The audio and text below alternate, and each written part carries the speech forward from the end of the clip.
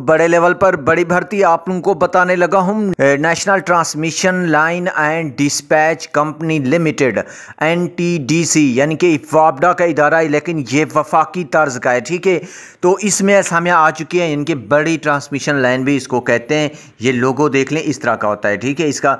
तो यहाँ पर कौन कौन सी असामियाँ आने वाली बताने लगा हूँ। वीडियो गौर से देखनी है लाजमी सब्सक्राइब करना मेरे बहन भाइयों, जो भी देख रहे हो, चैनल लाजमी यार सब्सक्राइब किया करो, क्योंकि आप लोग ऐसे ही वीडियो देख लेते हो, सब्सक्राइब नहीं करते।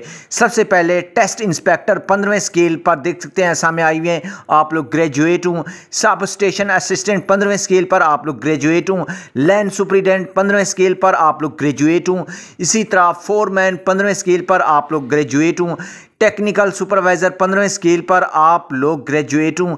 इसी तरह सब स्टेशन असिस्टेंट चौदहवें स्केल पर आप लोग बैचलर हूँ।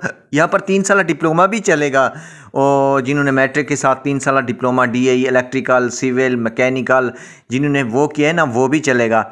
असिस्टेंट फोरमैन चौदहवें स्केल पर मैट्रिक के साथ तीन साल डिप्लोमा लिबार्ट्री असिस्टेंट चौदहवें स्केल पर, मैट्रिक के साथ तीन साल डिप्लोमा केपल ज्वाइंटर है नाम की, यह असामी और मैट्रिक के साथ तीन साल डिप्लोमा और इस रिलेटेड टेलीकॉम मैकेनिक हाँ टेलीकॉम, मैकेनिक मैट्रिक के साथ टेलीकॉम का डिप्लोमा और टेलीकॉम मैकेनिक एक और है, मैट्रिक के साथ टेलीकॉम का डिप्लोमा, इलेक्ट्रीशियन इलेक्ट्रीशियन में मैट्रिक के साथ इलेक्ट्रिकल का डिप्लोमा क्रेन ऑपरेटर का डिप्लोमा मैट्रिक के साथ किया हुआ है तो आप लोग अप्लाई कर सकते हो। अप्लाई किस तरह करना है? तरीकाकार, इंतहाई आसान है अप्लाई करने के लिए। नेशनल टेस्टिंग सर्विस एनटीएस को इसका प्रोजेक्ट दिया गया है। इकतीस जुलाई तक आप लोग अप्लाई कर सकते हो।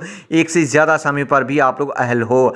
मज़ीद दोस्तों एनटीएस पर एक या दो दिन तक इनशाला इसका इश्तहार आ जाएगा। आज न्यूज़पेपर्स में इसका इश्तहार आ चुका है।